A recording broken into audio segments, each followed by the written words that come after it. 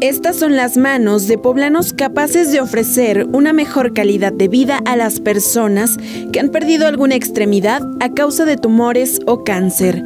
Fabrican prótesis de titanio para pacientes oncológicos de México y todo el mundo.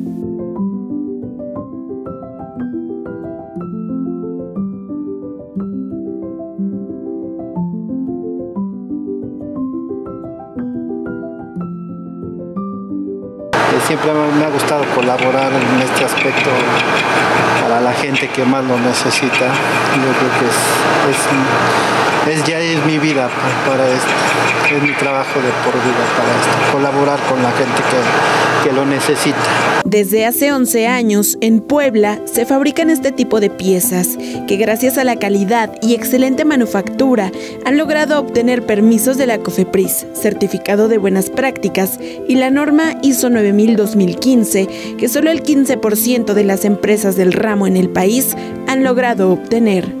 Esto es, como le comento, para grandes pérdidas óseas. Es para, por decir algo, esta, esta prótesis que tenemos aquí en este momento es para una reconstrucción de fémur. Es una pérdida ósea de más de 30 centímetros. Eh, hay médicos ortopedistas que desafortunadamente no todos eh, se atreven a hacer este tipo de cirugías. Está muy especializado el trabajo. Cada pieza es elaborada bajo los lineamientos de un plano y con la precisión y cuidados necesarios, pues son conscientes de que su destino es el interior de un cuerpo humano. Si lo que está haciendo es el cono y eso sí necesita pues sí, la medida más este, precisa que debe tener.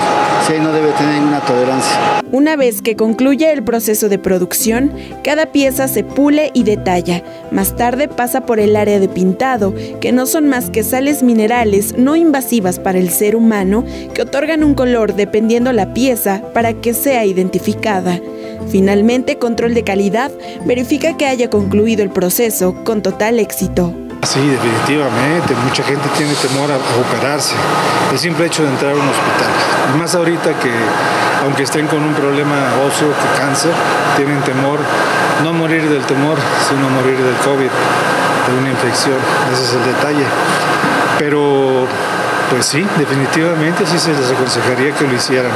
Para uno tener una mejor calidad de vida, para recuperar su movilidad, para evitar la pérdida de una extremidad, todo. Estas prótesis lo que tienen la ventaja es que podemos hacer reconstrucciones milimétricas. Es así como los poblanos ponen una vez más en alto el nombre del Estado y contribuyen a un mundo mejor.